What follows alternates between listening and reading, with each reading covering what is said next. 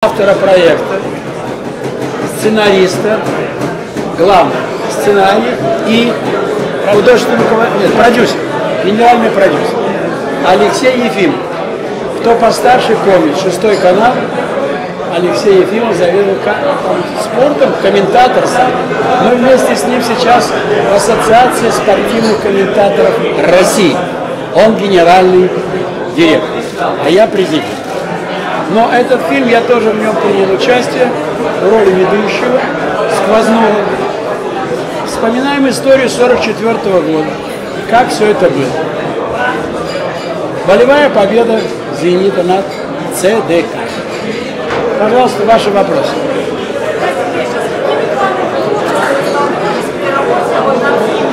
Не слышу. Микрофон есть? Пожалуйста,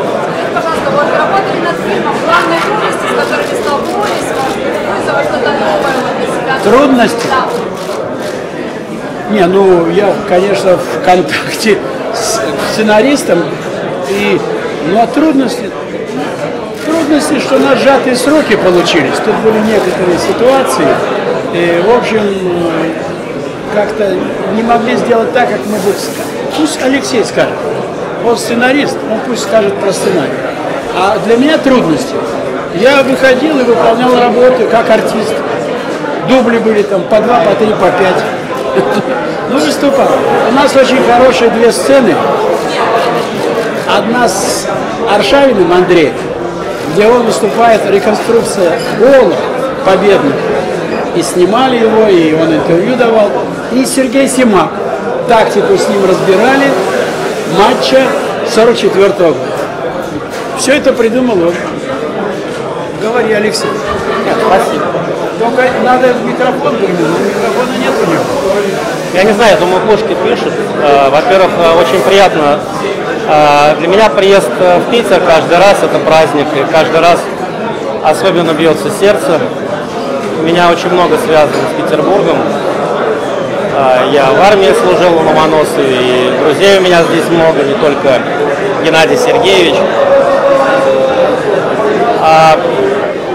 В тех реалиях, в которых делался проект, э, я считаю, что он получился нормальным. Конечно, э, есть что критиковать, наверное. Но, наверное, его лучше посмотреть. Я благодарен киностудии «Ленфильм».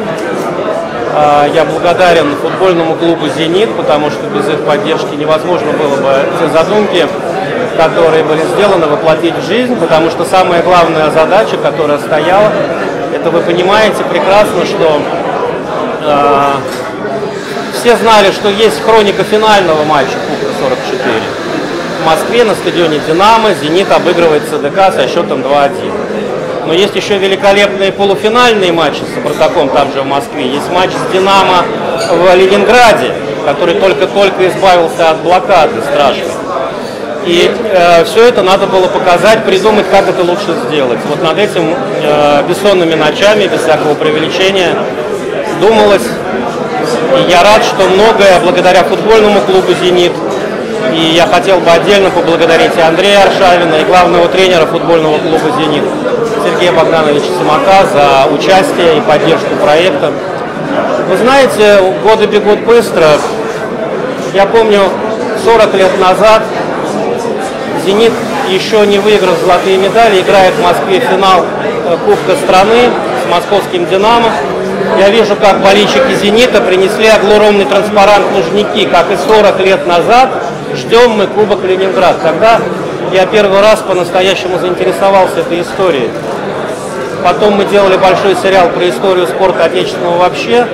И меня э, победа «Зенита», военное время, победа великого города, победа над всеми ведущими московскими клубами поочередно, «Динамо», потом «Динамо-2», «Спартак» и ЦДК одним составом, на пределе возможностей. Сказать через «не могу», не сказать ничего – это настоящий подвиг.